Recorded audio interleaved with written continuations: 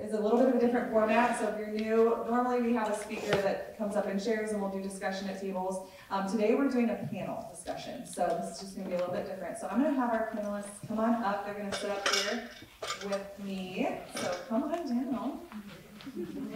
Wonderful ladies. Yeah, Thank you, ladies. Give a round of applause. So, um, we are covering the topic of motherhood overall. So, a lot of talk about parenting, really, and we are going to open up for you guys to ask questions as well. So, um, kind of our format for today. Uh, I'm going to ask them a few pre-planned questions. They're going to share a little bit about themselves, and then you guys will have time to discuss. And you actually have papers on your table, so the table leader or whoever um, if you have questions as you guys start discussing or as they're talking, feel free to jot those down. And then towards the end, we're going to open up for a time of open questioning from you guys, whatever you have for them. So um, we're going to start with just letting each of them just tell you their name, the ages of their children. We we tried to kind of do a various um, stages and ages of kids. So most of them have grown kids, but some of them don't. So I'll just let them tell you name and just tell us about your kids and your family. Um, yeah, I am Lisa McConnell, and um, we have two kids. They're twins, boy-girl twins. Um, Jacob is our son, and Jordan is our daughter, and they are 23 years old. My name is Jennifer. I have two kids. I have a daughter who is 15, Madison, and a son, Logan, who is 12. And I'm Sharon. I have five kids. They're all just about in their thirties. They're all out of the home. Sheldon is thirty-eight. He has two kids and his wife Jess is on the worship team here. Uh, Denise is thirty-five, four kids, and Dennis is thirty-three with two kids, and his wife is here somewhere. She was on the worship too. Sherry has three kids. She's the only one that lives out of this area. She's in Pennsylvania. David is twenty-nine and he is the daughter of Charlotte. I'm Gail Ray, and I have three kids, um, Kelly, who's thirty-three, Jamie, thirty-one, and Kyle, who's thirty. I'm Dixie Ward. I have three kids. Nate is thirty-eight, Caleb is thirty-six, Hillary is soon to be thirty-four. That's right, I'm sorry. I am thirty-four, but right now, And I have eleven grandkids, and a granddog, and a cat. so. All right, so, um, if you look also on your tables, there's little table tents there, and they kind of give you the topics of discussion for today. So we're gonna start with the first few, and I'm just gonna ask a single question from each topic, and then you guys can just take it if you want it, kind of thing, okay? Again, this is really laid back, so here we go. So your first question is under the category of training our kids up in godliness. So my question for you is, what were your biggest priorities as your kids were growing up in this idea of really training them to be God-fearing people? No pressure. I do want to share, because you showed this a little bit in our parenting class, so maybe talk about prayer. Would you mind sharing that? Sorry. Prayer, just like praying with your kids. Um, I- one of my main goals from the beginning of parenting was getting the word of God in my kids. I just felt that was so crucial, no matter where they are in life, like if God's word is in them. So I would do a lot with memory work, and from the day they were born until they could finally say it back to me, I would always tell them that Jesus is the Son of God. I just, that had to be core. And so once I could say that, then I would go to other scriptures. And actually, I had a, as each kid would finish a chapter, I would move on to the next. Well, then as the next kids, I would do the exact same ones. So the younger ones would hear, the older ones would hear the younger ones say what they learned two years ago.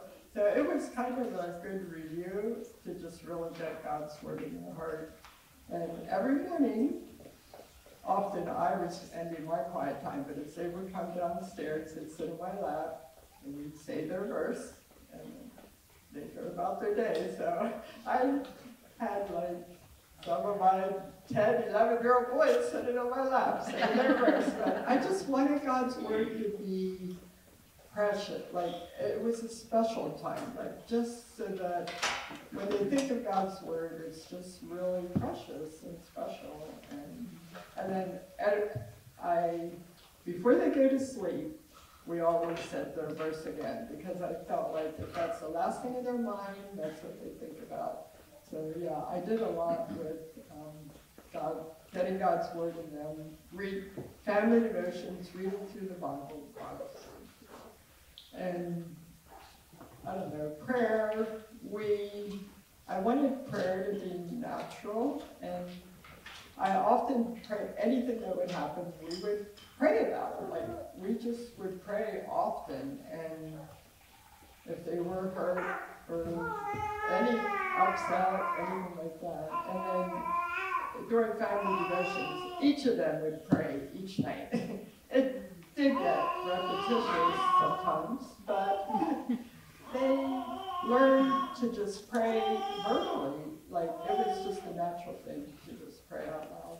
And if there was sirens going or something, we'd always pray for whatever situation. I don't know, I just tried to keep prayer as a very natural, immediate response to any situation.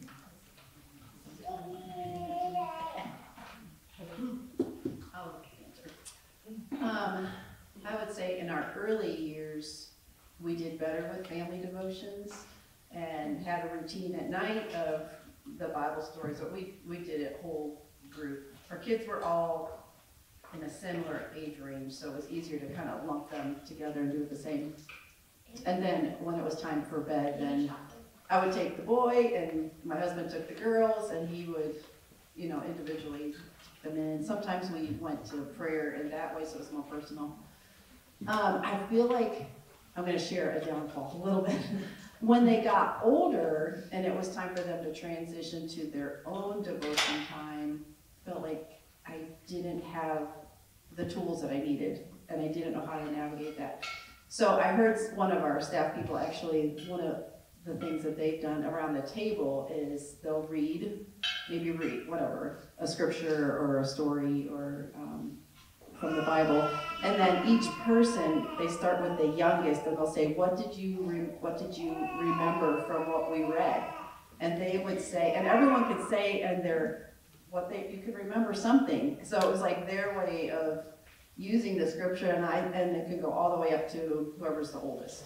And so I just want to throw that out as an idea because I think that's a great idea that spans ages.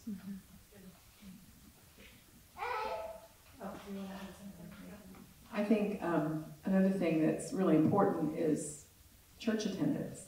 And I'm not just saying that because I'm the pastor's wife. but I mean, I grew, I didn't grow up in a preacher's home. And, um, and when the church doors were open, we were there, you know, Wednesday night, Sunday night, Sunday morning, revival. It was a week long, we were there every night. And somebody said to me the other day, well, that was different, you know, things were different. Well, you know, it's not different. Church is still important. And um, I just think that church should come first. It came first in my family growing up, and it came first for our kids growing up. And um, I just think that's really important that our kids know that church is a priority. Um, so I did a really pitiful job of this when my kids were younger. Um, and I just want to offer, I guess I want to say, like, it's never too late, no matter how old your kids are. I did a horrible job um, in comparison to what these ladies have discussed. We did not attend church very regularly when my kids were little. I did the best I could. Um, I guess beyond that, like we didn't go to church regularly. We didn't pray regularly. We didn't do, I really failed at a lot of that when my kids were little. But as they have gotten older, we have really implemented a lot more um, prayer time, quiet time, devotion time. Um, and it's not as easy. It is definitely way easier if you start when they're really little. and they grow up um, always knowing, um, you know, scripture or. But I just want to offer this: never ever too late. My daughter is 15. We've only been going to church regularly, consistently for the last couple of years. Um, it was very sporadic prior to that. I just wanted to say, I just wanted to offer that. But it's never ever ever too late. Um, say one thing to what you're saying. yeah. I'm sorry. I think it's important, it just made me think of this. I think it's important that we are kind of vulnerable with our kids in a situation like that especially. And oh, own up, you know what, I made a mistake. I didn't, I didn't, either I didn't know or, you know, I just didn't, we didn't do that and take responsibility for that. And I think that'll speak volumes to our kids if we're not like, you know, this rigid, you know, this is what we're gonna do now. It's like, you know what, I, I messed up. I, it's my fault. We're gonna do different. And that's, that's a big part of it, sorry, I'm very, you're gonna be very chatty. Um, But that's a big part of it, especially with teenagers. My daughter, you know, is a little older and we've had to be very honest about that. Like, we, as your parents, definitely should have done a better job when you were younger. And, um, and so this might be a little silly now at 12, 13 years old, we're gonna start implementing this, but we're doing it, so suck it up. I love it. All right, um, so our next category is navigating peer pressure. So the question I have for you guys is, how did you monitor outside influences on your children or your child?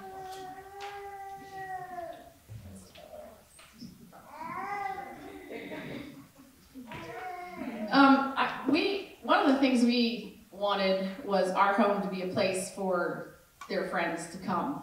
And maybe for us it was a little easier because our twin, we have twins and they're boy-girl twins. So the, to navigate, you know, the peer pressure and the friend situation and the outside influences, we, they were together. So we wanted our home to be a place where their friends could gather and we knew what was, so we could see what was coming into the house, what was, who their friends were, who they mingled with. And um, that was, that, that seemed to be key for us to get to know what they're doing, who they're hanging out with, and um, yeah, monitor things that way. we had super clear expectations. I should say have, because I'm still raising children. Um, super clear expectations about what um, what qualities are in a good friend, the kind of kids that we would want them to spend time with. And there has been situations where we've had to say, you're not allowed to talk to that person anymore it's just not working out. Um, so sometimes you just have to be the bad guy and and do what you have to do to protect the influences in your kids. So I think too, was just having the friends in the house a Yeah. lot was a big thing. I felt more comfortable having them there than my kids going somewhere else. But, um, and also knowing, learning to know the families of their friends like that, um, important. Have a quick story. When we first moved here, we didn't know anybody. And a girl from my middle daughter's class invited her to spend the night. And I was kind of terrified because I didn't really know them. And um, so then we show up at their house and it didn't look like a house that I wanted her to spend the night. to be honest, it was like painted different colors and I don't know, I'm like, oh, what are we doing here? So I go in, meet the mom, and the daughter that invited her over, she had a Bible verse on her shirt. and I was like, okay, we're good. they were very friendly. They became good friends of ours as well, and um, it was it was good. But I feel like just praying for those relationships and that God would reveal what we need to see as parents and um, trusting Him with our kids long as we stay in communication and, and use the wisdom that given us. Um, we didn't have a bunch of rules in our house. Um, didn't really feel necessary. I didn't grow up with a bunch of rules. Um, but there were certain ways that we expected our kids to act. There were certain things they knew they could and could not do. And if they ever said, and they did, well, so and so, blah, blah, blah. And I'm like, well, you know what? Hillary probably heard this a million times, if so-and-so lived here, they wouldn't be doing that. You know, I mean, it, so it wasn't a big deal, but it was just like, you know, this is what we do, this is what we don't do, it's not a big deal. And our, yeah, we had a revolving door in our home as well. And when Nate and Caleb had a band, it was in our basement, people would say, oh, doesn't that bother you? No, it doesn't, because I knew where they were, I knew what they were doing, I knew who they were with. I didn't care how long, in midnight if they practiced in our basement, I didn't care, because I knew where they were. So, you know, and now I know not everybody can do that, but kids are kids for a short time. So it's like, it's not a lifetime, it's, you know, it's just a moment in time, really. Don't get me going. She's a crier. I will add to that though, um, what my mom just said, because we were pastors' kids, that was a big thing that other people expected us to be perfect because we were pastor, you shouldn't be doing that, you're the pastor's daughter, or whatever. And my mom always really would defend us and say, that's not how we live, but then she would say, you're supposed to act like that because it's the right thing to do. It doesn't matter what other people think and everybody else thinks you're the pastor's kid. And that was, I think, very helpful for us mm-hmm. because, and I think that doesn't just apply to pastor's kids. I think it teaches your kids, it's not about what everybody else thinks, it's about your heart and doing what is right. And I think that was something you Yeah, guys did a good I job. told you kids, I don't, I don't expect you to act a certain way because your dad's a pastor. I expect you to act that way because, you know, we're representing Christ and that's just, that's the right thing to do, you know? Yeah, I, I made it very clear when we interviewed here. Uh-uh, our kids are no different from your kids. Don't be saying, oh, your kids should do this, should do that, and your kids are doing it. Sorry, that doesn't apply to you. All right, our next uh, topic is purity in dating, and my question is, what were your rules for dating? How did you try to foster an internal desire for purity within your kids? This is a fun one,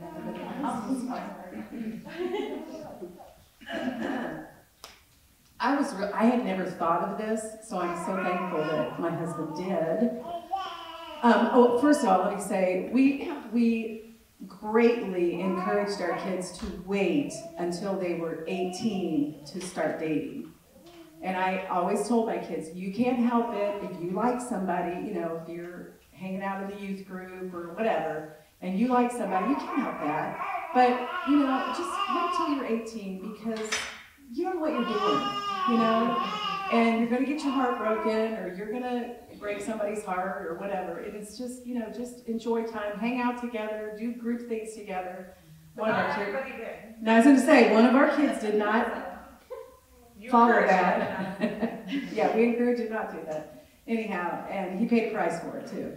Um, but anyhow, we just encouraged them to wait, um, until they were mature enough to date. Bet a dollar for every time she said, just be friends with everybody.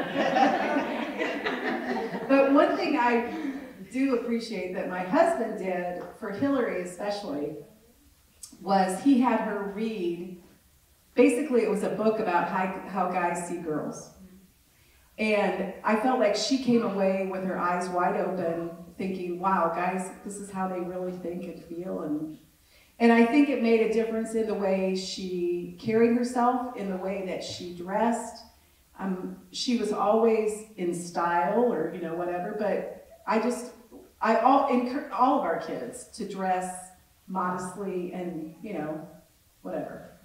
So I, so our, our bottom line was please don't date until you're 18. This is my season of life. um, so if you would ask me this question six months ago, I'd have been like, my kids will not date until they're 40. Um, and then my daughter met a boy this past summer.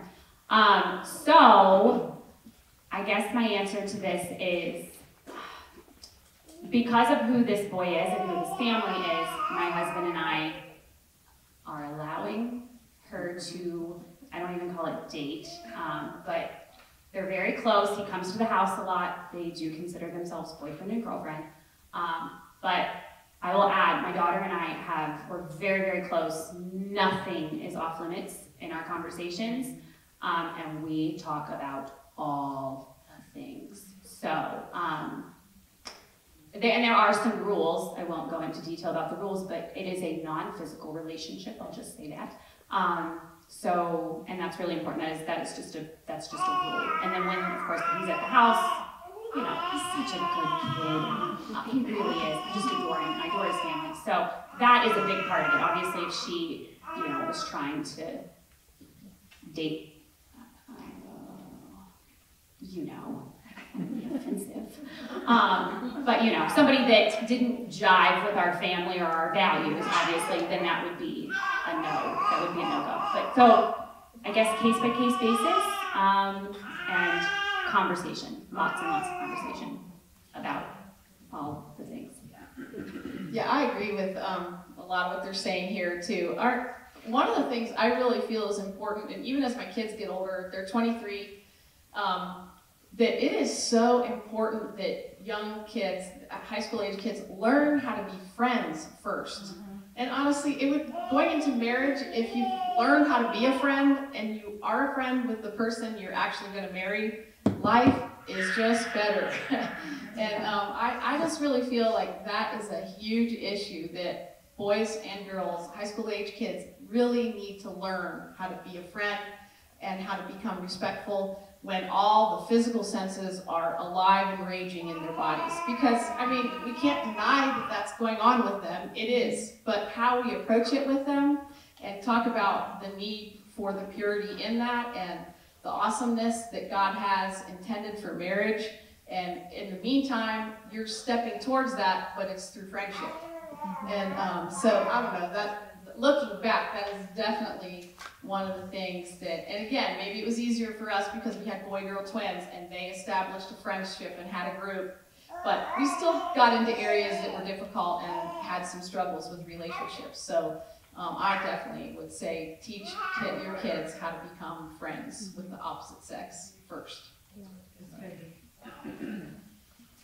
All right, we're gonna take a pause here for you guys to have some discussion at your table. Um, on the opposite side of your table tent, there are a few questions just to kind of guide you, that I'm just gonna give you a few minutes, and then we're gonna go back into some more questions. So, the person says, what did you find really helpful in your current state? My kids are not dating. Same. I feel like this applies. But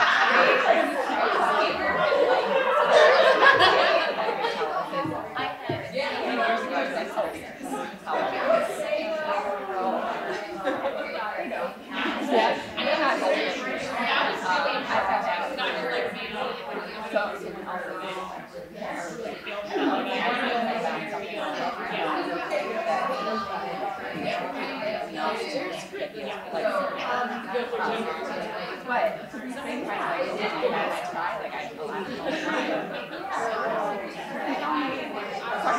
No, no, no, she was there. It's like, yeah. Looking at them. So, and exactly, it's just like, talking about this stuff, please don't.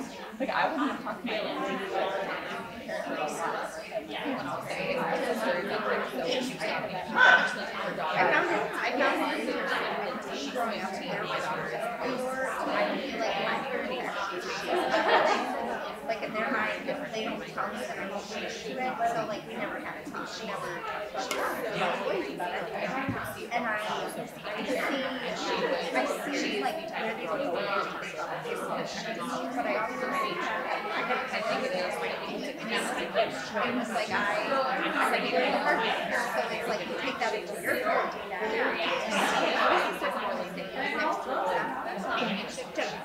What she was saying though, like, that's what I want, like, just make sure that you have, what say is on you, because I know that there were times where I wanted to. And I but everything that they did talk about was boundaries, you know, so, I related on that. You don't know. I feel like my husband should know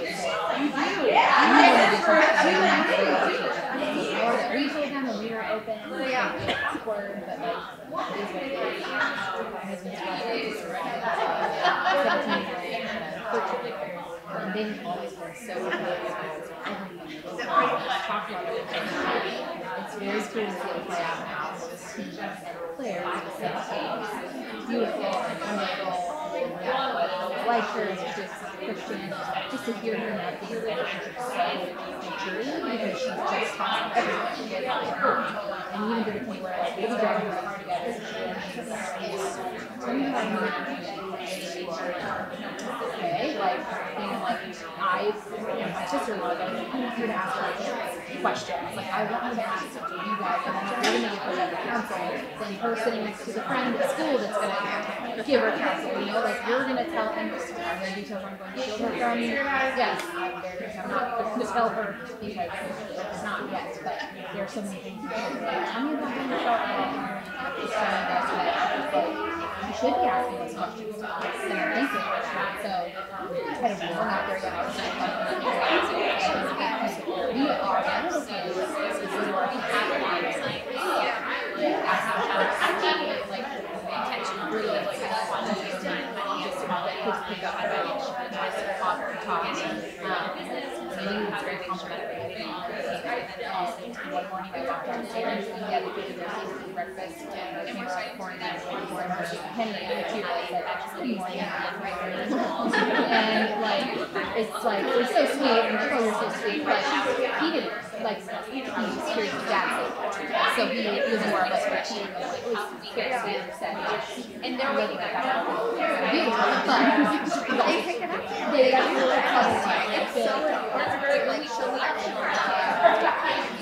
Like every time we were like, because the body and everything, and we actually had one of our friends who plays it, and he turned it to her and said, Daddy, holding mommy or daddy, like they don't know, but they see, they see that affection, so.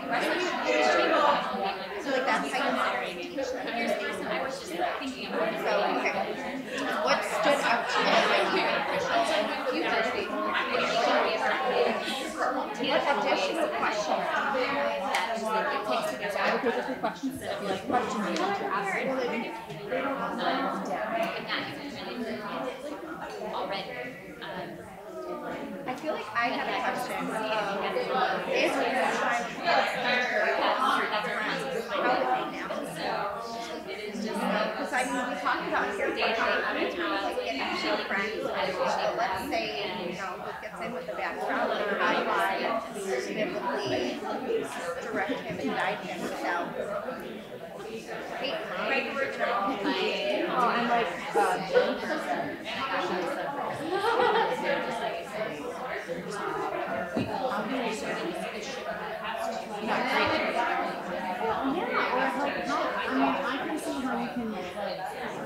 Once you say that, a kid wants it. You know what I mean? Yeah, but like, I how you can enforce that.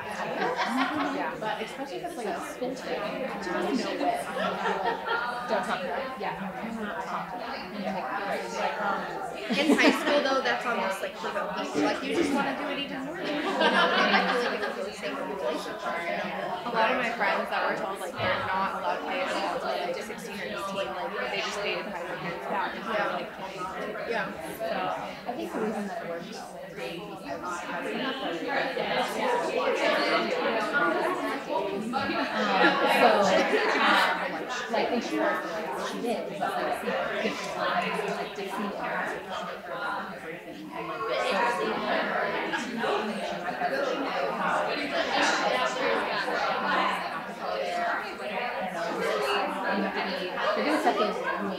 those rules, there's a way for like, parent, so what am I gonna do?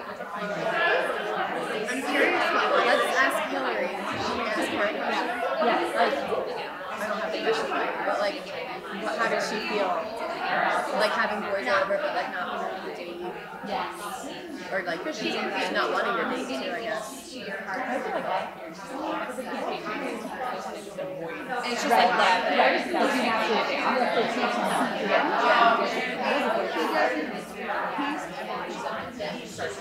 But like, that was, she knew her values more.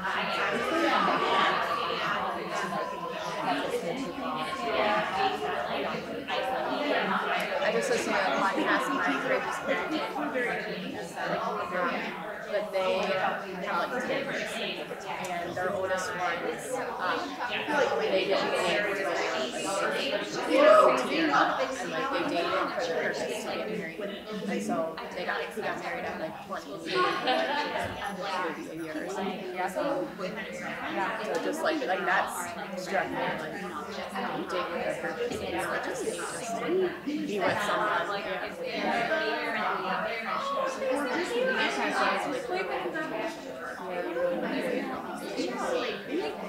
Yeah, no, and My husband was always talking about dating. Like it seems like I would say that. But that was my thing, so you're out a lot. So I know, yes. Yeah, just like you need to. So, but yeah, you can take the date. And don't, you see the highlights person, nothing is I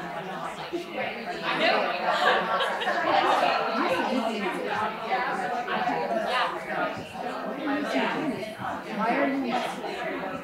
So, um, so back to my up.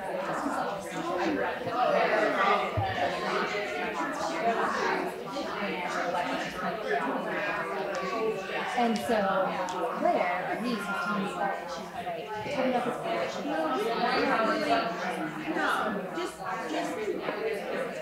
And it really struck me because I was like, most of us just are like, married. Right. So I want to take a leap. He was very thinking about it.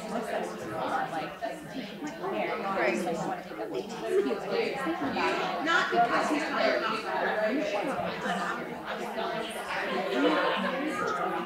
Like every marriage. But you know what I mean. Like, hearing that's for instance are healthy, quality marriages. And I'm like, so this really great thing to talk about. And I didn't do the opposite to talk about myself. Don't. And so I feel like, uh, like I said, when I'm talking myself, that's hard. Yeah. Who were also waiting to hear about their broken they didn't know their divorce. And so everything is like Because she, I'm not gonna do it. she, Yeah, things that So you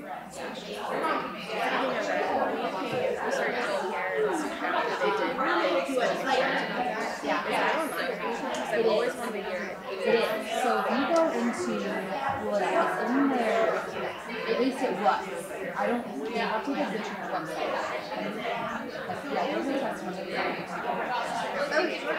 Yeah, it's, it's under, I think it's under the website. And, yeah, We're up to dialogue here. Hopefully you're having some good discussion. Don't forget, if you guys have questions you want to ask, write them down in the papers provided at the table. Um, we're gonna go into our next segment here. Uh, the first topic is discipline. This one always can go wrong, so here we go.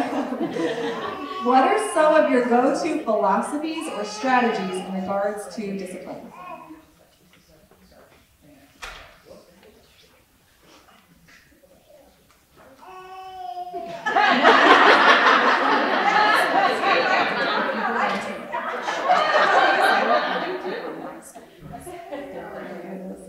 Philosophies or strategies?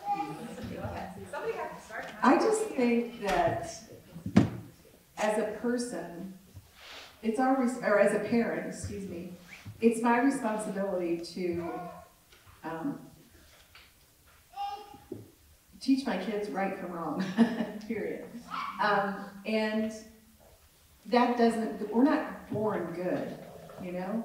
So, we're not born nice, kind, loving, so that, that's taught to me, and it's either taught verbally or as an example. And I will admit that this is not something that Pastor and I agreed on, and that's okay. He just felt like, you just need to tell them what to do and they just need to do it. And I'm just like, well, yeah. Because I would say, would you please go, you know, brush your teeth? But just tell them to brush their teeth. I'm like, no, I'm trying to be an example. I want them to say please and thank you. I want them to be polite, so I have to do that. Now, it was only one time. If they didn't brush their teeth, it's like, go brush your teeth. You know, it's like, I don't, I didn't mess around with them. I didn't give them 50 chances. Please do what I say. If not, there's a consequence. And I think kids need to know that's life. There are consequences in life. And they need to learn in the easy things early on so that they're not living with regret later on. Um, so it was really important to me that they be kind and loving. And so I tried my best to be kind and loving towards them to teach them that.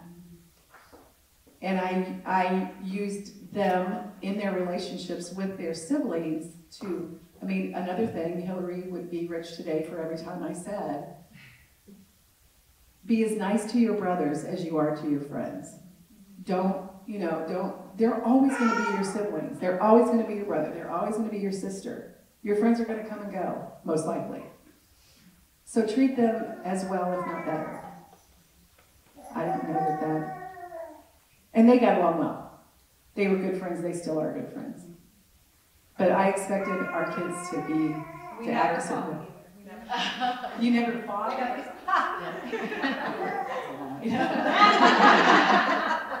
Just to tag on to what you said, I feel like, um, respectful, like you treat your kids respectfully with the way, you know, you all been out in public and you hear people talk to their kids and then they wonder why they talk back to them that way.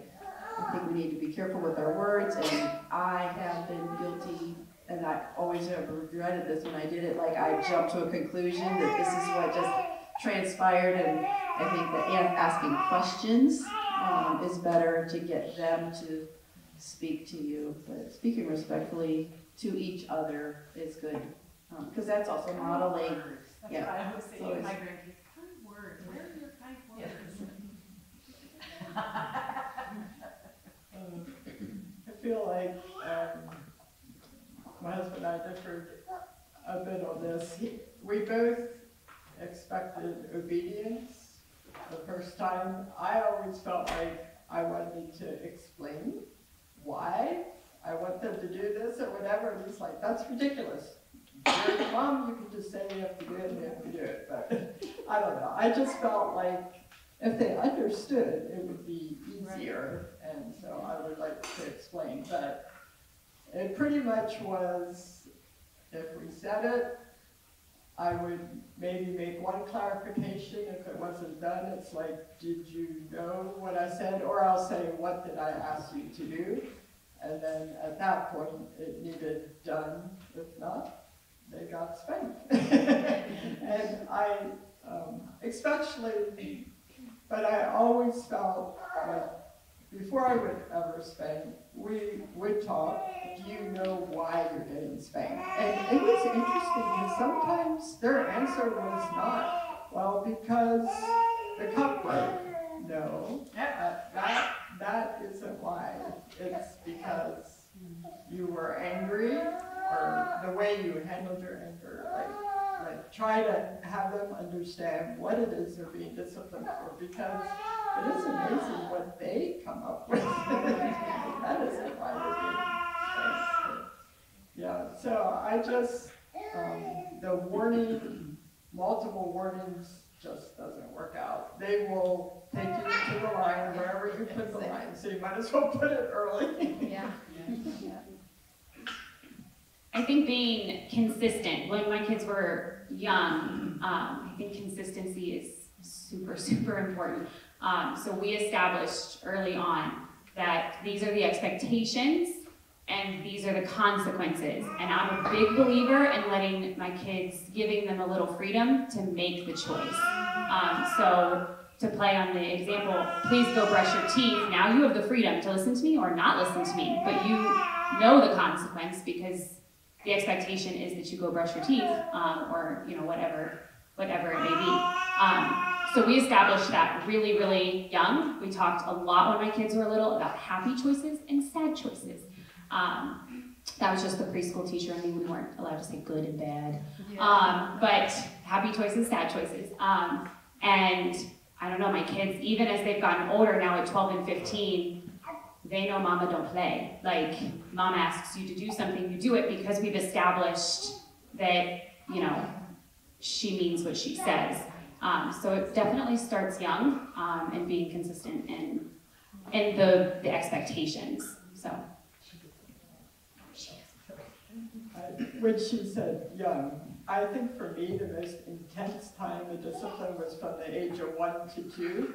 And a lot of people at that age, the tendency is, if I ask them to come and they don't come, you just go pick them up. But I would stay where I was mm-hmm. and ask them to come, like, and you get into battles that you're not expecting, like you just give a simple command and all of a sudden you're in World War Three, and you just have to take the time to play it out, but I would refuse to physically make them do things, like, it was their, they didn't have a lot of words, but they understood my words, and, and that's, I think that's a lot to avoid the terrible twos if you establish mm-hmm. obedience from one to two. Well, I think some parents think, well, they're too, well, go, no, go ahead, let Lisa say something, let her. It's okay. No. Well, I just think some, and I, because I've had parents say this to me before, because they come to me and they ask my advice on something, and when I tell them, they're like, well, they're way too young. Well, kids aren't dumb.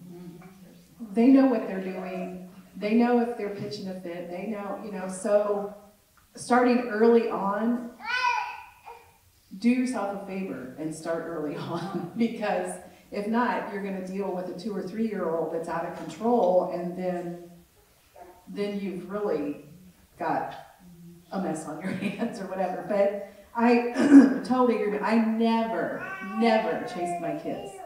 Never. I would go to them and I would walk them and show them, you know, when they're really, really young, this is what I'm asking you to do. And I would do that depending on their age several times, but then it was like they reached a point where, okay, I've told you enough. You know what I expect of you, so you need to do it. And yeah, chasing my, I never chased, and I don't chase my grandkids either. Ever. Yeah, I think um, um, training and nurturing are such key words because they empower our kids when they're older.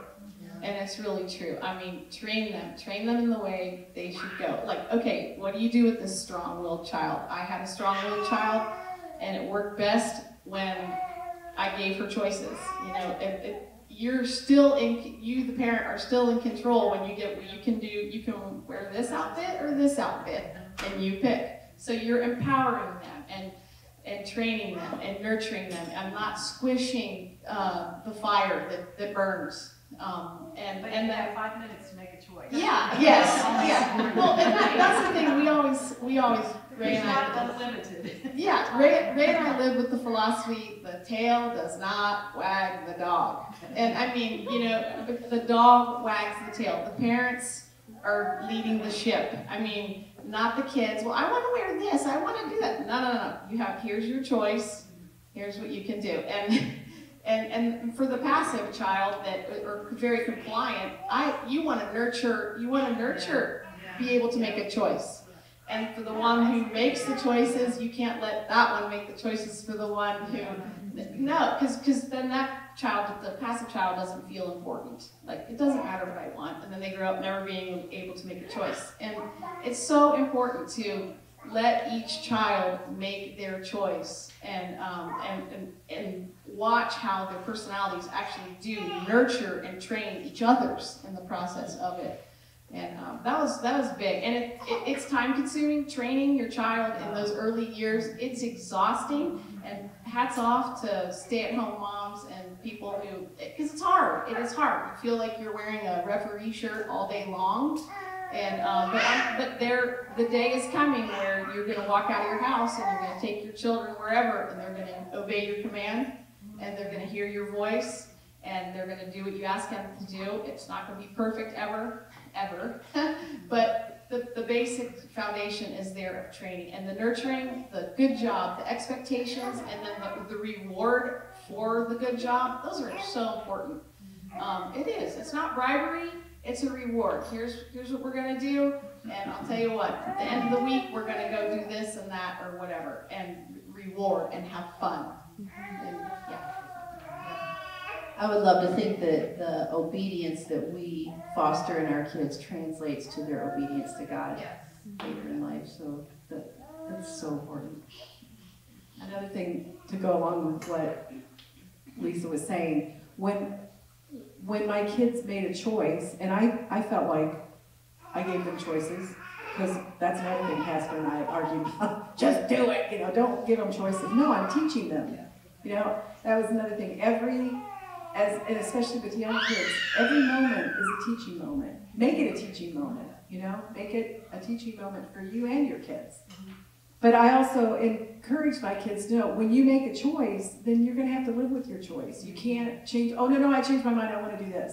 After they started doing whatever they chose to do. It's like, no, you chose this, so, you know, we're going to stick with this. Or you said you wanted to eat this, so you need to eat that, you know? So, yeah. But I, I'm all for being fair at the same time. Was I fair? You, oh, yeah. Oh, I wait, I'm sorry. I wanted to say this. I, and even when my kids became teenagers, got older, I still expected them to act a certain way towards me and, you know, just in life period. I had a friend who said their teenage daughter said, I, I don't like it when you tell me when I'm doing something wrong. Like, I don't like it when you tell me I'm being disrespectful. She said, so I kind of quit doing that. I'm like, are you serious? Why would you quit telling your child you're being disrespectful? You know, and I'm just like, I mean, my kids are in their 30s now, and if they like, I'm like, okay, you know what, I'm still your mom. You know, whatever. I think it's important to reinforce the positive too. So in our house, that's a really big one. If I, even my son who's 12, um, you know, if I see him, because like I said, we, at a very young age, I've always given them the freedom to make choices, knowing the expectation, knowing the consequence. And so if I see him making a good choice, um, like not hauling off and hitting his sister when he was really tempted to do so, I'm, I'm really quick to, hey buddy, that was a good choice. I saw that restraint, that was, that was really good self-control, good job. Um, so just as an example, so just to always constantly reinforce, and, and that's at a young age, that's, you know, all the way through, so. All right, we're gonna move over to um, sibling differences. Looking back, how did your kids' unique personalities and needs require different parenting strategies from you? So, all, our kids are all so different, and I think that we are all challenged by how we uniquely parent them. And it's always interesting. You have your first kid, and then you're just like amazed at how different each one can be. So, how do you parent that well? How do you embrace who they are, especially if they're not like you or maybe you, you don't jive as well, maybe you butt heads more? How do you that? Um, so my daughter is extremely strong-willed, very independent. You could, I'm not saying I did this, but you could have broke a wooden spoon over her bottom, and she wouldn't have flinched, cried, cared, nothing. Like She was very. Um, and then my son, if you just look at him wrong, he falls apart. So I learned really quickly that I cannot parent Logan the way that I parented Madison uh, because it just does not work for him. Um, I think I've maybe spanked him like maybe twice in his entire life because he just can't handle it. Like he just. So I think um, as a mom, you have to completely change your own parenting style based on the personality of your kid. Logan could not be more opposite for me. I don't have a sensitive bone in my body, um, and he is all sensitive from head to toe. Um, so just helping him and nurturing him in his sensitivities wow it's been a i guess i'm still honestly living this because even as teenagers he's still pretty sensitive and um, and my daughter is not. So um, it's something i think we're still kind of working through but um, just the importance of parenting them completely different. Um, i can't raise my voice at him i can't he just can't handle anything like that. So. I think too, um, one of the things that has helped me um, is to ask our kids questions. And especially the older they get, is just to ask them questions about things gives you an idea of what they're thinking. Because, like, one of you guys said, why were you spanked? Uh, You said that, Sharon. Why were you being spanked? And their answer's completely different than what you thought. So the obvious isn't always the obvious to them. And um, yeah, so asking questions becomes important to learn their personality, to learn how they think, to help them make choices. All the, the nurturing, the nurturing, nurturing, nurturing um, pours water on them. They feel empowered when they're being nurtured, and that, that, has helped. And it has helped them understand each other too, um, and learning how to get along with each other because their personalities are so different. Um, you're right. It's and it's amazing because then that, that's how you have kids raised in the same home have completely different perspectives of of your parents of how they were raised. But um, yeah, the more we talk, the more we let them talk to us. Sometimes, absolutely the better. I, my kids have very different personalities, but I think what I struggle with, they are all fairly, all close in age. They all five are within eight years. anyway, so we did a lot of group things, especially evenings or weekends when Dennis was like, we all would do the same thing. And so I had to guard against just looking at the kids, like this is kids, and look at each one individually. And the one thing I did that I just am so grateful for is at one point, for several years, I wish I'd done it longer, but I gave, I have five kids and it was five days in the week, so every day, every kid, one kid got a half hour. And it was their half hour, they could decide what to do, and I would do it just with them.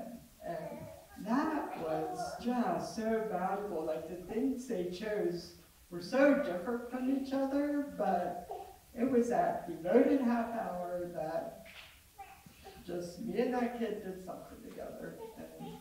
I, I mean, of course, at bedtime I tried to be more individual, but yeah, it is hard with that many not to have the group and to focus on an individual. Just a little um, thought, maybe encouragement for you. Um, so the kids are different. Our youngest boy, he was, I called him crybaby. He cried about all kinds of things all the time when he was little, and I kind of sensitive, okay.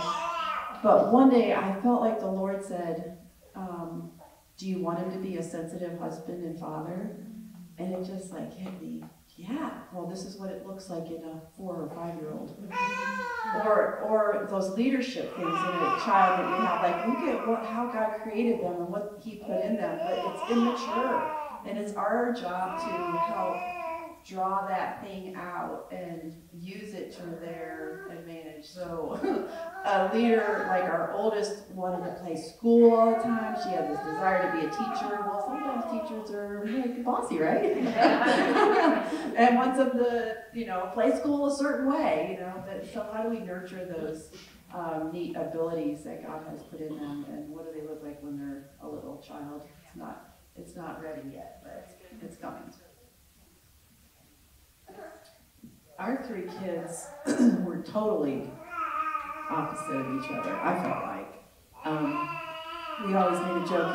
Correct me if I'm wrong, Hillary, but we always said that Hillary was the boss, Nate was the brains, and Caleb was the bronze. You know, he just. Did I say that right? bronze, whatever.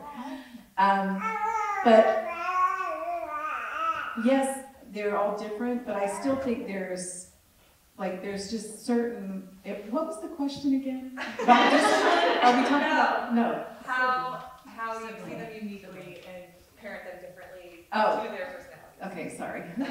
See, she just wants to talk about this. No, I don't. I don't. But I, I will say this: even though our kids are all totally different, there's still a basic way of disciplining our kids.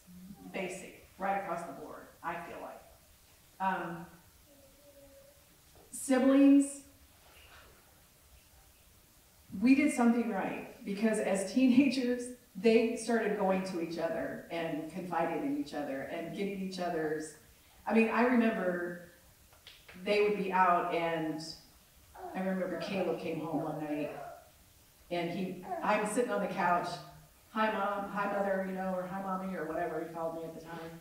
Went right straight up to Hillary's room, and I'm just like, what am I, dirt, you know? But, but I'm sitting there and I started crying, I'm like, yes, you know.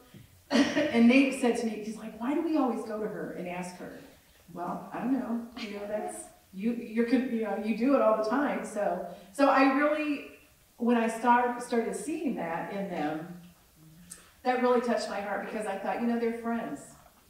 And, and yeah, they still bicker, still, and they, they always, you know, didn't always get along perfect, but they were friends. And so, I just, I felt like that was important.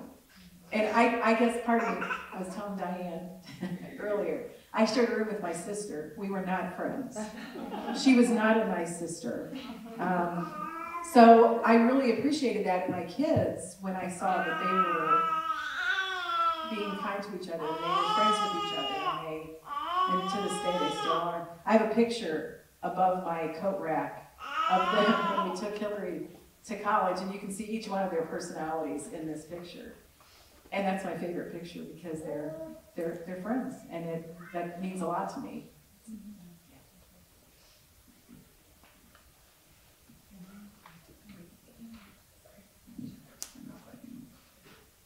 All right, yeah, we're gonna go ahead and go back into discussion. I'm gonna give you guys a few minutes, and then I'm gonna open it up for you guys to ask questions to the group. So if you wanna talk about what they just discussed, write down any questions you have, and then I'll give you guys probably like eight minutes or so, and then we'll let you guys talk. Um,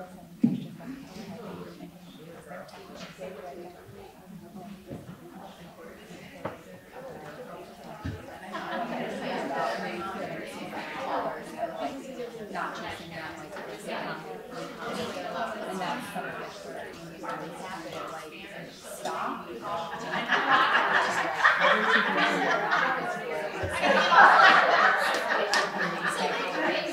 Stop and safely like I was with a friend one time and it was like and she stopped taking care.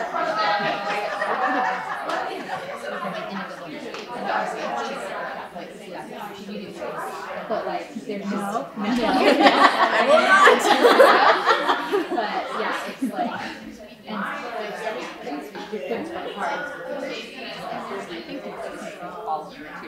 think it's. Like, you, big deal. You can. Like. I do this. and Now I have to like spend half hour getting to do it. It's like, The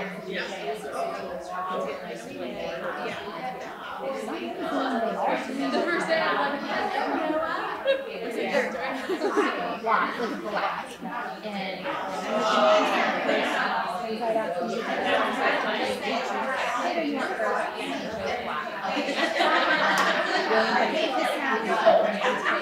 He wanted black, he was sobbing,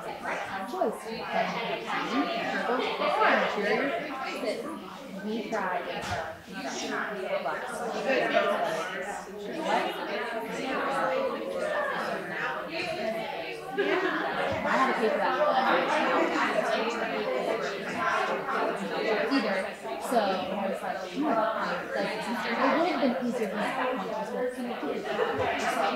But that's not very kind, like, you know, I'm used to it, it's been like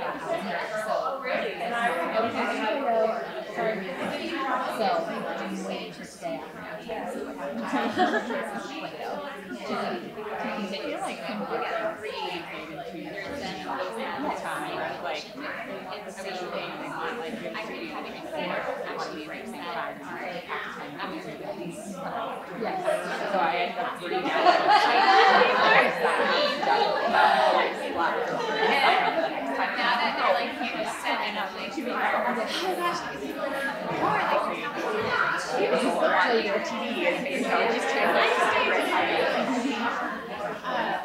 yeah, so my kids were, my parents had, they were separated from my. And so I had a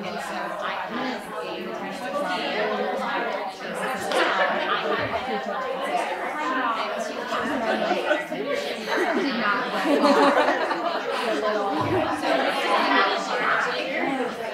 assessing what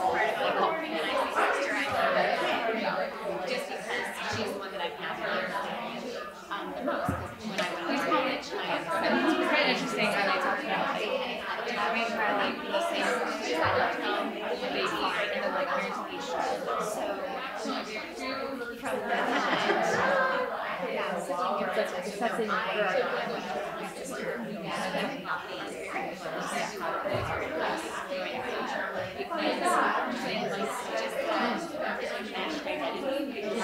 she's talking about how it's so different. Like, I want my kids to be good friends, and I think she was saying for a long time, like, for years, she said when she was dating her friends, they would she got that come up with knowledge from her. I think it's a whole family, like, that I'm not always gonna be his best friend. And yes, you're all people, so you can share thoughts with them.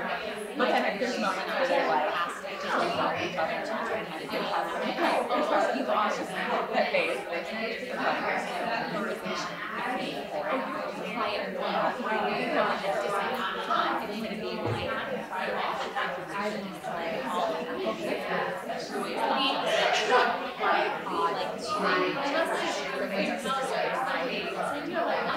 How long were you like that for a long? Like, two hours? Yeah, if it's too much,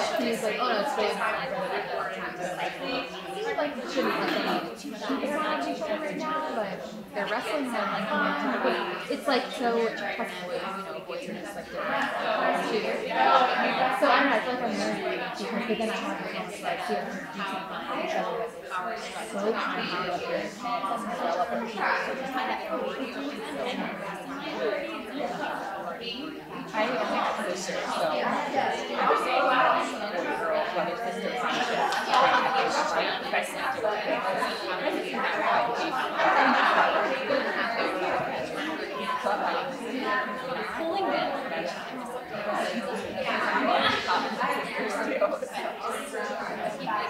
And then they leave each other close. Um, we had a in the.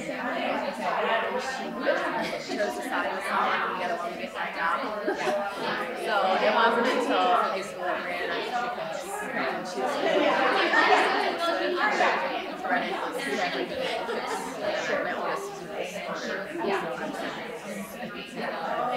was just like thinking like how in the world do we get siblings to be that close?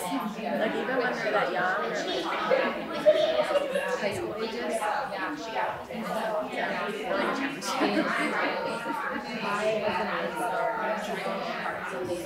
So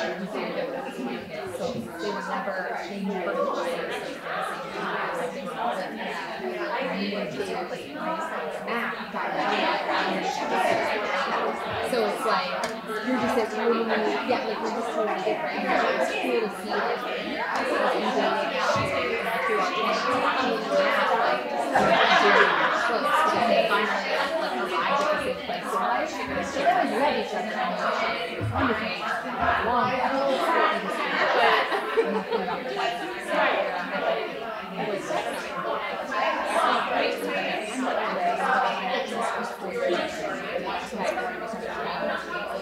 and even growing up, like,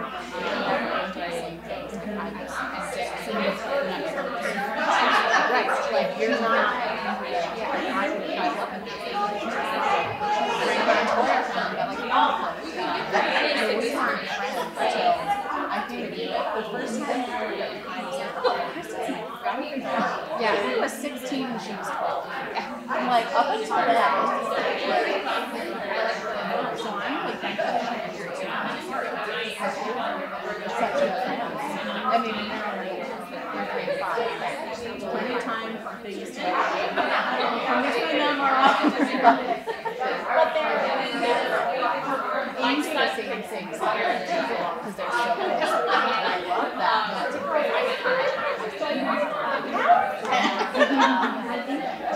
I think what did is they made about why they're so close. and, Yeah. They're not just saying like, oh, they chose, like why they chose them, so why they chose them, like it's just worth Literally what I was thinking in my head.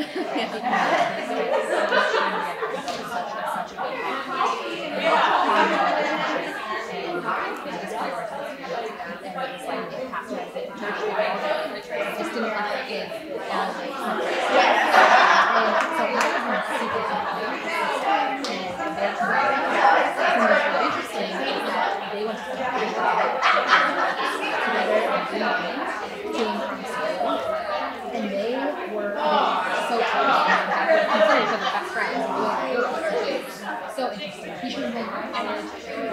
Sister, she was married, lived in the basement for two years. Really, and there's so much. I go. Think when you live that route. I think that's why you choose it How? This, this end is all. And that's all I'm doing. They can have something that obviously we all know an option. And I think I think that that's like, for now, she like runs that that piece today. Well, it's like, I think the people that like just during the volleyball, no offense, but like, that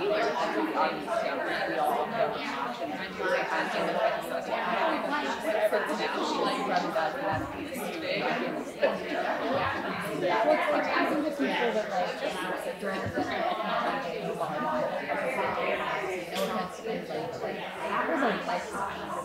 They traveled, Through Sunday, and then she had practice. Monday, Tuesday, Wednesday, out of town, an hour away for three hours, and her and like each other. It's like that they like each other, literally never see each other. And they don't talk, they have nothing in common, they have kind of like relationship. Know, it's, I find it interesting question those things, and I like, they can't reflect back to like, this is where I messed up, or like, I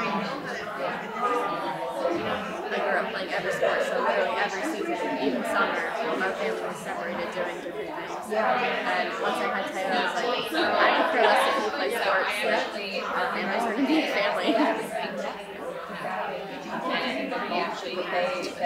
Just might be go, I like to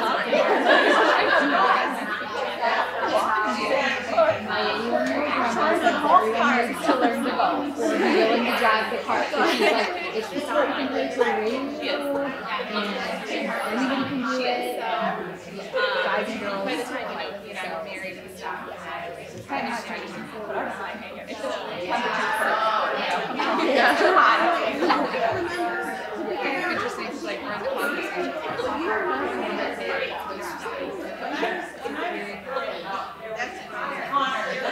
Seems like to have that relationship where it's so five years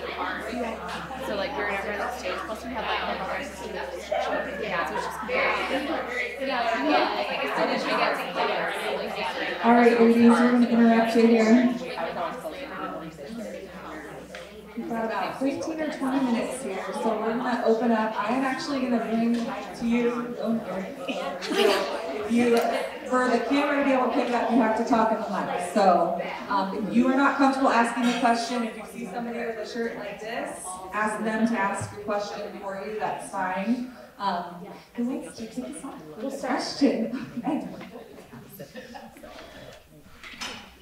All right, so this is kind of from the first section, and it's mostly for you, Hillary. And we want to know how you felt about being told or, not being allowed to date until 18, or that being like a standard in your home. How did you feel about that?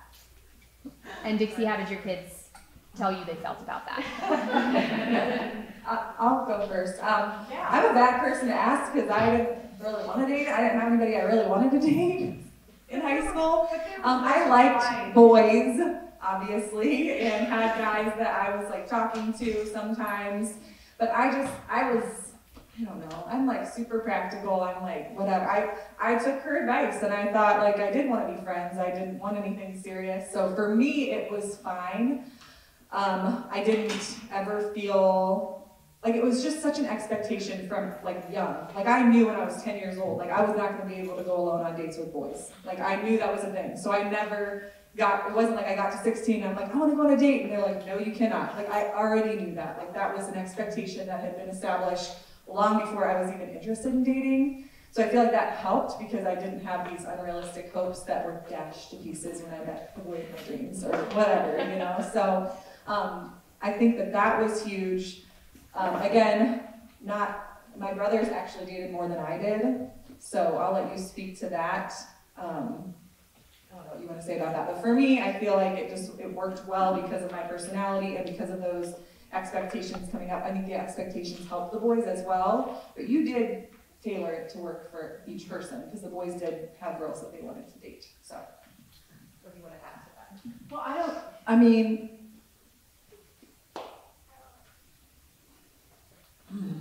Was there a lot of, did you get much friction from the boys on that? no, You didn't sound like you were mandating it. no, it wasn't, yeah, I mean, it, I don't know, but you guys, and it's a little different, you know, people would say, well, it's different because you homeschooled and, you know, there, I had three kids and three, I mean, Nate was three when Hillary was born, so they were really close in age, so they did, you guys did a lot together. I mean, you just, you just did. My brother's And- always dated my friends too, so then that was, That is- out, so. They liked- Really doing yeah. well. Yes, They could just come hang out with me, hang out with my brothers, you know. and, yeah, and everybody that you liked was from church, so, you know, and that does, okay, that's another thing. Just because they're from church, and just because they come from a good family, we're all still human, you know, it doesn't, that doesn't change that human aspect of us, you know, but, um, I don't know, it was never, the biggest issue I think was with Nate, and he's already shared that a lot publicly, but, um, I don't know. I just never, I never felt like it was a friction or an issue, or I never felt like we had. I just would keep saying, you know, just, you know, don't. And I just tried not to make a big deal about it, but just like, you know, eh, don't, don't. I tried to make it more light. You know, just don't be, whatever. You know, just be friends. You know, I did. I really did. I just tried to encourage, just be friends. Don't get all wrapped up in a relationship early on, and I don't know. I just think that's important because it's because then I feel like a relationship becomes eh, what a big deal. You know, it's not a big deal. It's not. Well, it is a big deal. You know, when you marry somebody, that's a big deal. You know, and it should be for a lifetime. And I'm here to say it doesn't always work out that way, but it did work out that way. You know? It ended up working out that way. But it just, you know, it's just there. Just enjoy each other. Enjoy each other's whatever. Um, yeah, but I would also say there were just like really clear about like no one was ever allowed in bedrooms ever. Like there were just things that we, but it wasn't a fight again because we just always knew that was the rule. So I think some of it is just thinking ahead and planning and preparing your kids for those rules. Because that, I mean, it got annoying even like I don't know, like we'd have friends over that were just friends. Like I wasn't even allowed to have like my brother's friends if they were there. They weren't allowed in my room. Like we just never. That was just off limits. We were always in common areas. So I think a lot of it is just yeah, thinking through and preparing ahead of time because I think that prevented. What's the, Fight why, why do you need to do that? You don't. Why, yeah. You don't. You just want to because you're a teenager. But regardless, we knew we were allowed. So I think that that was hugely helpful. So that answers the question. But I, I will say at the same time, it's not like I like stood over our kids and was like Hawkeye, you know, the whole time. It was just like, there were just certain things expected and, and I will say this, and my kids told me later, ah, well, we didn't, you just didn't know it. Well, of course, you know. That's I why you set the remember, bar. but it was like, I always had, I did, I always had a rule that if you go someplace and then you decide you're gonna go someplace else, you have a phone. Just shoot me a text and say, hey, we're gonna go here. I'm not asking you to ask me if you can go there. Because if something happens to you, I wanna know where you're at. So I know where to go. If you're at so-and-so's house and then you decide to go here and something happens, then I'm thinking, you're at so-and-so's house, right? No? Okay, well, what am I supposed to do? Because I don't know where you are. It wasn't a matter of, hey, can I go do this? Can I go do that? It was just like, hey, we're gonna go here and do this. And it was like, oh, okay. And I, very rarely did I say, no, you can't do that. And, yeah. Oh, oh, I did have another rule. I didn't care if you get home at three in the morning. You come and wake me up and let me know you're home if I'm asleep. If I'm asleep. We usually were not out until three. No, but it was, I'm just gonna say that as an example. We didn't have any rules, we didn't have a curfew, but if, when you get home, you let me know you're home. And nine times out of ten, I was awake and I, I'm like, okay, thank you, go to bed. You know, it was just like, it was that simple, but, and I know they were places that didn't tell me they were going. I would like to add something. I never did. I would like to add something to that. When we were at your house, Oh, oh my goodness. Someone who knew it. when Am I gonna find out something that I didn't know? No, quite the opposite. Like I even remember the rule was like, you know, boys in Hillary's room. I remember being in your room and something, and all the boys from youth group were there, and they were standing at the door like, you are not allowed to cross that line of the carpet. And I was like, but like when we were in your house, and wasn't just because it was pastor, I think it was more you, Dixie. When we were in your house, if you had a rule, the thought of dishonoring that rule wasn't even an option because the way you lovingly and clearly established expectations for anyone in your home, not just your children. And I feel like that's really important for any of us who are having other children in our home, that it isn't my kids follow my rules and you get to slide under the radar because you're not my kid. That's not the option. You're in my home, it's my rules out of love. Like I never felt like you mandated things to us. But I respected your rules because I know there was no other option. And your mom voice was very convincing. to be honest. so those are all really good qualities that I want to establish someday. Yeah. Anybody else? Another question? These questions are. No, anything, anything. I'm taking you somewhere else. I have two questions. The first one I had was, having watched your kids go through seasons of fall away, um, is there anything that you wish you had done differently when they were younger that might have helped them during that holiday season? Define fall Um, questioning faith, walking away from faith as a whole.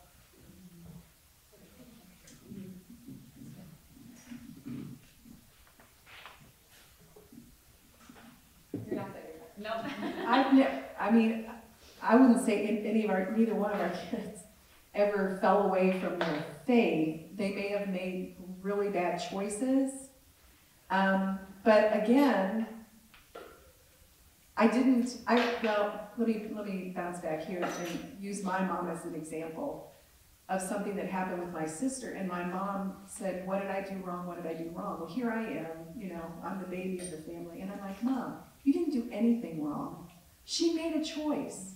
You know, it's, you have been a good parent. Were they perfect? No. But you were a good parent. She, my sister was always just a challenge. Always. And I'm like, no, you did not do anything wrong. You've been a good, good mother. Daddy's been a good dad. She made a choice, and it was a bad choice, and she's paying the consequences for it. So I never, I don't feel like none of, none of our kids ever fell away from their faith, but yeah, they made bad choices, and it wasn't like, I don't ever feel like I, like, came down on them and like, I just, I still, it broke my heart, you know? Sorry. So I just went at it from that angle, you know, it was just like, you made a mistake. We all make mistakes. Mm-hmm.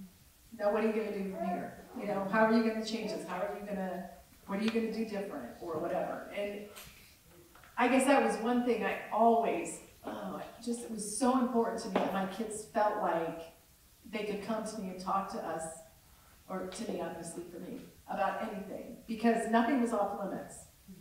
Um, and so it was important to me to still have communication with them and, and try to walk them through it, you know, and,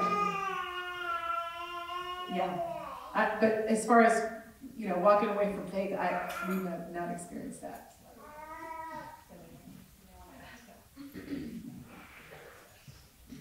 Think too, tho- those challenging times do come in, in our kids' lives where they question things or whatever, question you, question God, question things. And I feel as a parent, probably um, looking back on some of those things, my relationship with God in those moments obviously grew. And um, you spend so much time on your knees for your kids, and literally uh, the practice of handing our kids to God when we don't have the answers for them and just loving them right where they are.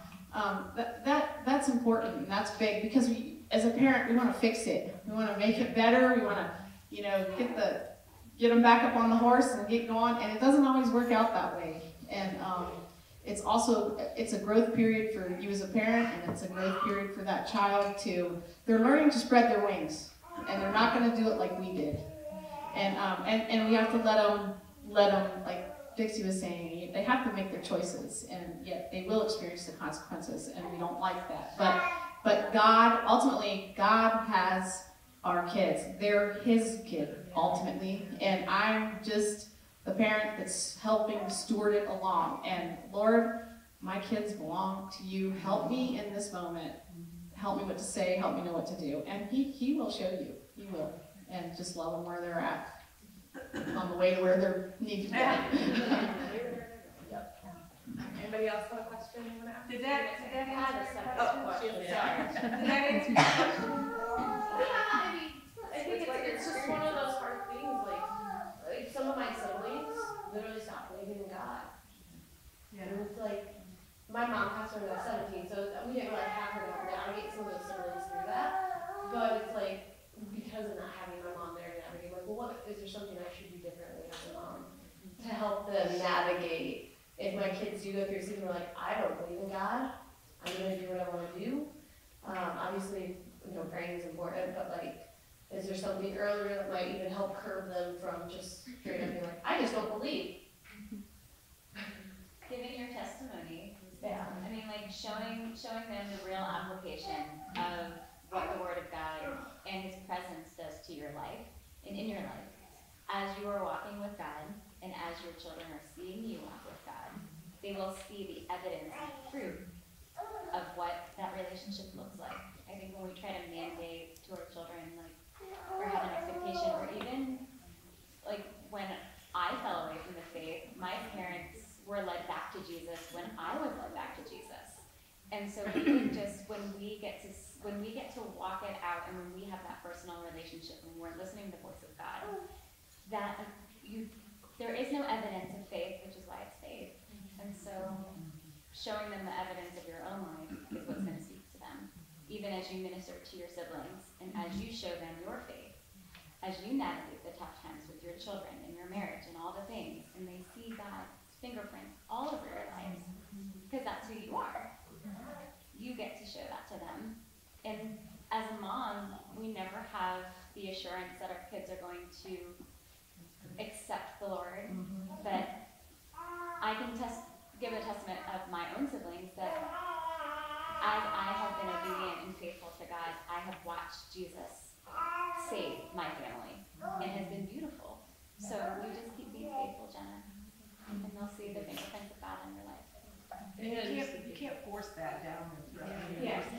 Well, and I just listened to uh, authors say um, on podcasts, like, he will complete the good work that he started in them, not on the day they graduate and they leave our house, but until he comes back. Um, he's always working. I have something for you too, just to jump out there. So my, um, I didn't grow up in the Lord at all, and my daughter Presley has some medical issues, and I was worried about that too because I didn't grow up like when she was learning about Jonah and the whale with uh, her. I was learning as well. Like what?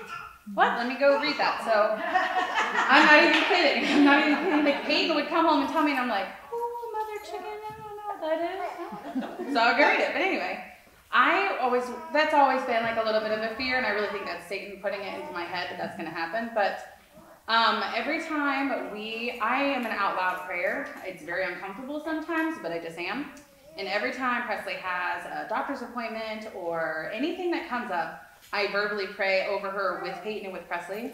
I didn't even think it was that big of a deal, but then one time I heard Peyton talking to her friend and about bringing kids into your home. Like this little girl doesn't believe in the Lord. She comes to my home. But Peyton's like, oh, I can tell you when God works. Like my sister was this, or this happened, and this happened, and my mom prayed for it, and it happened. And she like made it so big, and I was like, yes, like finally. That's so. I think telling them and not keeping. I don't hide a lot of things from my kids. So like if we're going through a hard time, I just tell Peyton like, look, chick, this is this is a hard minute. Like we're having a hard minute. We should probably pray for it out loud. And then when it works, I will bring my kids back in and be like, okay, girls, remember when we prayed for this? Look, this actually happened. So just to add on to that side note. So. The final question was, do you adapt the Bible for your younger kids or do you invite the questions? The background for this is I'm doing Bible recap with my kids and my husband, and I let it play. And obviously, real fast in Genesis, it's like Abraham or um, oh Noah was defiled, you know, defiled in some way by the son. But you, I mean, I hear that like, oh, my kids didn't really think much of it, but I know there's other stories like, you know, thirty thousand circumcisions and stuff like that coming up soon. So it's like, do you, and then officers, you ask a question, if they're old enough to catch it, you just say, come on, if they can't learn about it in the Bible, like, you're gonna learn it possibly from earth. I just, you know, some people are really weird about it. I'm kind of really against historical Bibles because I feel like it waters it down too much. But then am I going, am I not protecting their innocence? If I let them hear about this in the Bible, or am I protecting their innocence by letting them hear it the? I have, I have a, I have a great question. This is, this is really stupid. That's kind of a point. I was watching Dick Van Dyke, we have Dick Van Dyke on TV, and I was watching it, and Richie, everybody knows Dick Van Dyke, Richie said, Daddy, where did I come from? And he looks at his wife, you know, and he's like, uh, and Richie's like, you know, six, seven years old. And so he gets out his Spock book, you know, and he's like, oh, how should I do this? And, and he said, well, you know, Richie, where do you think you came from? From, uh, Indiana? And so that's what he was thinking. Where did I come from? But, you know, but, but, you know, so, so I'm saying that to say, just let it run. And if your kids ask questions, then do it according to maybe their age level or question them about what their question is about or whatever. But, but at the same time, you know, our kids always had like cartoon Bibles when they were kids. Them- we got them, and so it's like, it's the word. And, you know, as long as it lines up with what the Bible really says and is truth, then however they get it into them, it, doesn't matter. But yeah, I'd say let it run, and if they have questions, then answer their questions, but only answer their question according to what they're asking, really asking, not what you're thinking. So that was just popped into my mind when you said that. All right. Unfortunately, we're out of time, so I'm going to pray. Uh, these ladies are here for a few minutes, so if you have a question you want to ask them privately, feel free to come up and ask them. You can volunteer that. I'm volunteering you. So I'll pray for us, and then we'll go get our kids. Dear Jesus, thank you so much for this time just to talk together, to hear from one another. I think it's an encouragement for all of us, Lord, to, to do better, but it's also a reminder that we're just imperfect people trying our best, doing our best to honor and glorify you, and that it's going to look different no matter how we do it, and that our kids are still going to make mistakes, but we are just called to be faithful. We are called to be your hands and feet, even within our home, to our children. So I just pray that everyone would walk away from this time encouraged um, with something they can take away and, and, and apply to their own life. Um, and I just pray for each woman here and their parenting, Lord, that you would just strengthen them, encourage them, um, surround them with people who are going to pour good things into them, into their kids, and uh, are going to lift them up in their lives, Lord. We thank you so much for your goodness and faithfulness to us. In Jesus' name I pray. Amen. Can I just say one more thing? I'll be, I'll quick. I, I, I just want to say to each one of you, being a mom is the best thing you're ever going do. um, so take it serious, you know, and don't be fearful uh, when it comes to our kids. It's just like, you know, be strong and be brave, but there's nothing else in this world that you're going to do more important than parenting and being a mom to your kids. So um, don't let anybody put that down. I'm not saying that people have, but I'm just saying it's it's a it's a big deal being a mom and being a dad. So it's important. So don't take it lightly. Go get your kids.